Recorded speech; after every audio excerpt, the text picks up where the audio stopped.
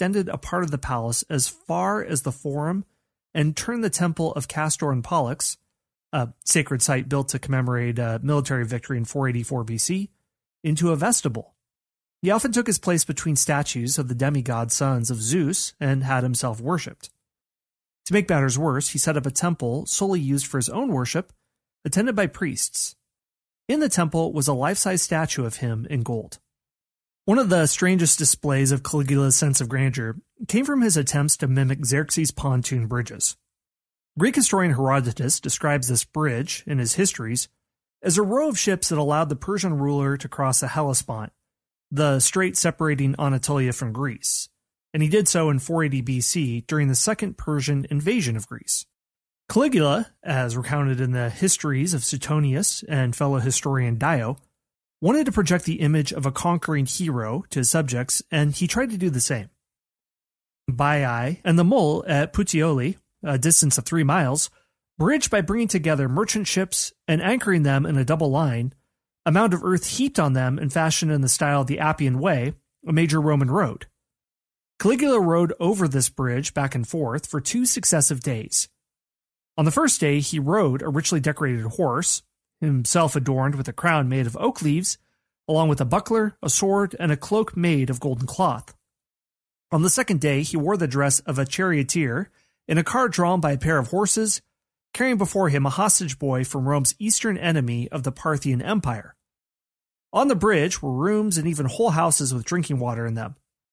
While Caligula rode across these ships in his gorgeous raiment, he gave a banquet to his men and in the end hurled many guests off the bridge into the sea. Many of them drowned. The entire Praetorian Guard was called to attend the spectacle, along with a company of his friends in Gallic chariots. Caligula believed himself to have outdone Xerxes, since the Hellespont was a much narrower gap than the gap between Baiae and the mole at Puteoli.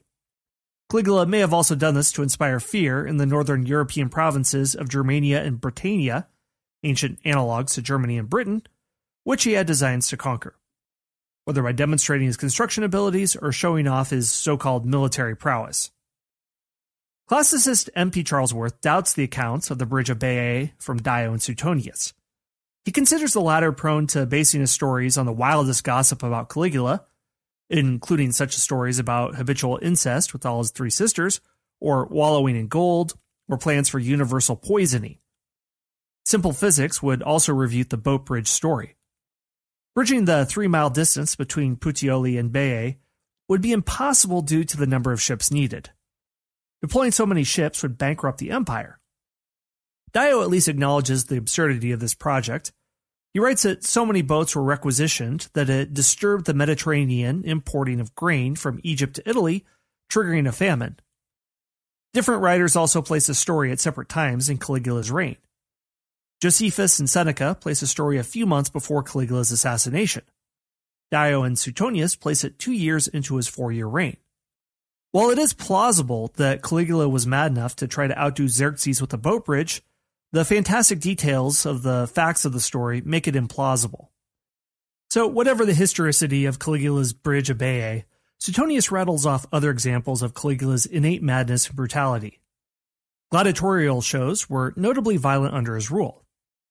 For the spectacle, wild beasts were fed cattle, but the emperor thought they were too expensive, so criminals were devoured instead. He reviewed the line of prisoners without examining any charges and took his place in the middle of a colonnade, commanding them to be led away from bald head to bald head. As a newly coronated emperor, Caligula sought glory in battle and the status of a war leader. But rather than achieve real victory, he went through the motions of a military campaign and borrowed the symbols of victory without earning them. Caligula launched only one campaign as emperor, and it originated from what appeared to be a sudden and irrational impulse. Having gone to visit the springs at a river in modern day Umbria, Italy, he remembered the need to recruit Batavian bodyguards, the Germanic foreign born soldiers who traditionally protected the emperors. Caligula then had the idea of an expedition to Germania.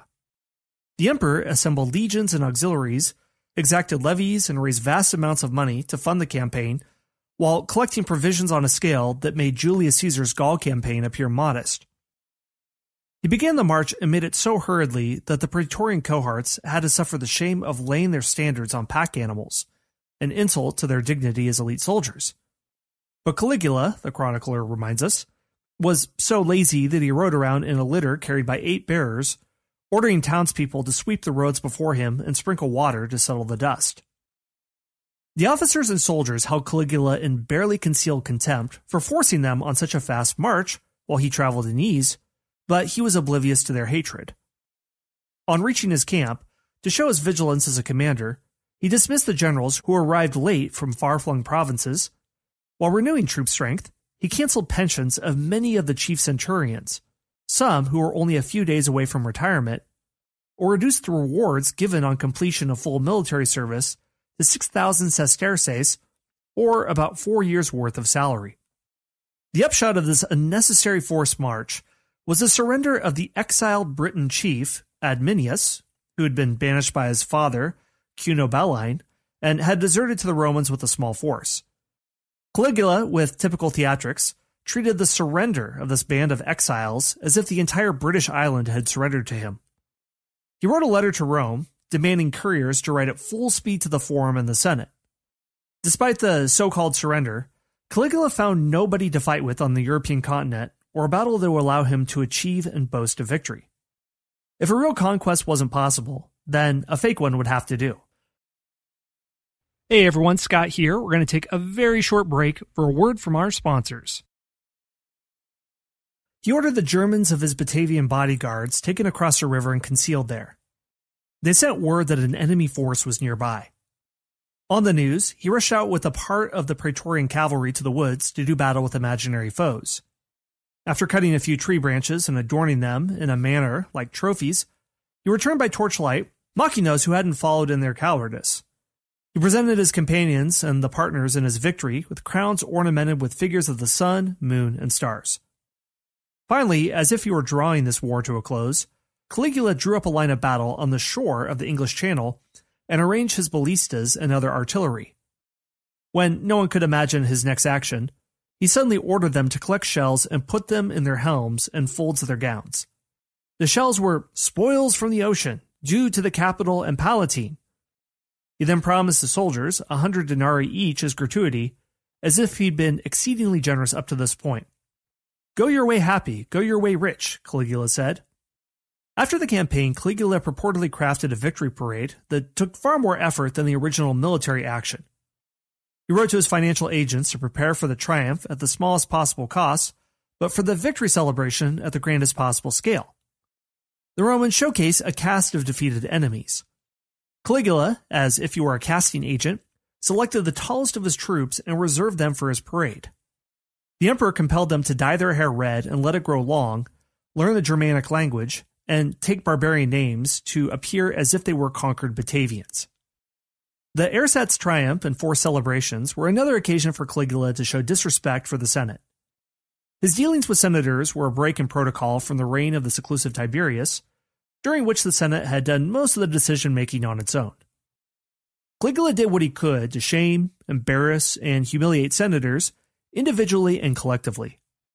To do so, he treated his horse, Incitatus, with more respect than them. In addition to his fine garments, he also served as a royal host. When invitations were sent from the palace, they were in the horse's name, and Incitatus could dine at the emperor's table. Roman historians claim Caligula tried to make Incitatus either a senator or a priest before the emperor's death. Modern classicists have argued that Caligula wasn't intentionally malicious, but a victim of his own cult of personality. Early 20th century British historian J.P.V.D. Balsdon blames the manipulative Senate for stoking Caligula's arrogance, leading to a belief in his divinity so that he could be better controlled. Caligula accepted honors without reservation and removed or executed advisors who could have helped him in dealing with tributes and flatterers. Wealthy citizens fed his cult of personality to secure well compensated priesthood positions in his new cult. The most toe curling acts of Caligula's madness concern his incestuous relations with his sisters. Suetonius claims Caligula lived in habitual carnal relations with all of them, but had special affection for Julia Drusilla, whom he may have violated when he was still a minor.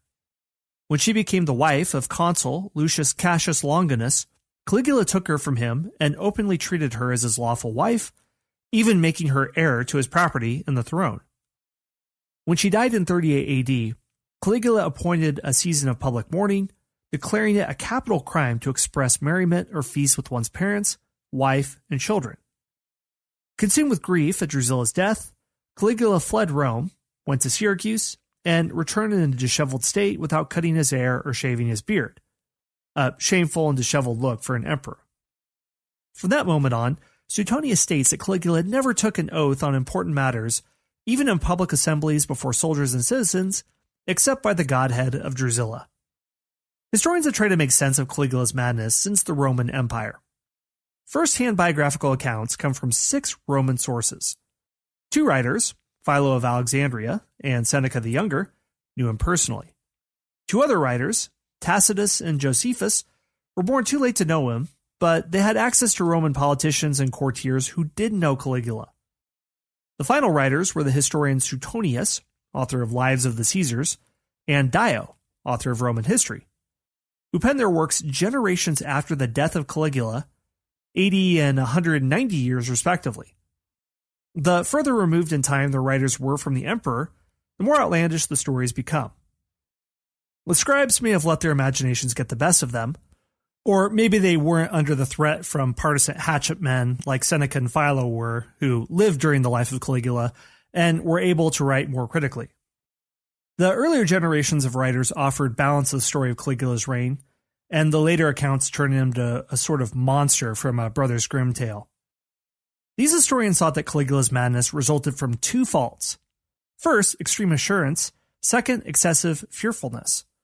They described him as hating and fearing the gods to such a degree that he shut his eyes and covered his ears at the slightest thunder and lightning, terrified at the wrath of Zeus. The storm increased, he leapt from his bed and hid under it. In a similar incident, on a journey through Sicily, he mocked so called miracles attributed to the gods. And yet, he became panic stricken one night when the Sicilian stratovolcano erupted, spewing smoke. Mortal threats equally terrified Caligula. When he rode in a chariot on the far side of the Rhine River, it was said that there could be mass panic if the enemy appeared anywhere near. With speed, he would mount a horse and escape to the bridges. When a lengthy line of camp servants and baggage prevented his crossing, soldiers moved the emperor hand over hand over the crowd. Upon learning of a rebellion in Germania, he prepared to flee Rome and readied his ships for this purpose. New methods of psychological analysis developed in the last century have allowed historians to diagnose Caligula with every mental illness for which professionals have a name. He's been called schizophrenic, psychopathic, epileptic, bipolar, or more simply, a garden variety megalomaniac. Some think that his madness came on suddenly with an illness in 37 AD, while others think it had to do with childhood trauma and parental abandonment. Still, others say that his madness was never as bad as our historical record claims. His crazed actions either never happened and are only a fictional account created by chroniclers who had something to gain by demonizing Caligula and making their own political faction appear better by comparison, or something else. German scholar H. Willrich wrote in 1903 that the emperor wasn't simply mad, but rather there was a system or method to his alleged madness, and that he suffered a breakdown from the stress of his duties as emperor. A recent biography on Caligula by Alois Winterling argues that he may have been manic because his behavior matches symptoms of the illness. Others say he was a product of the Roman imperial system, whose worship of the emperor and indulgent lifestyle could turn anyone insane with delusions of grandeur. Still others don't reach for a complex explanation and write him off as a sociopath with no care about the effect of his monstrous actions on others. But without the ability to perform a psychiatric assessment on Caligula, reaching such conclusions is ultimately impossible. Accounts that are written decades after someone's death, especially by political enemies, are suspicious and lack objectivity. An examination of Caligula's turbulent childhood might be more relevant in explaining his adult behavior. Arther Ferrill, a modern day biographer of the emperor, argues that the path to megalomania began early in his life, and the exposure to the execution of mutinous soldiers when he was only a toddler triggered a lifelong fear of a mutiny of his own, making him paranoid of conspiracy and all too happy to execute anyone perceived as disloyal. Roman accounts of Caligula's abnormal behavior suggest an anxiety disorder. He's often described as petulant and excitable, even in normal circumstances. His condition was therefore likely triggered by the stress of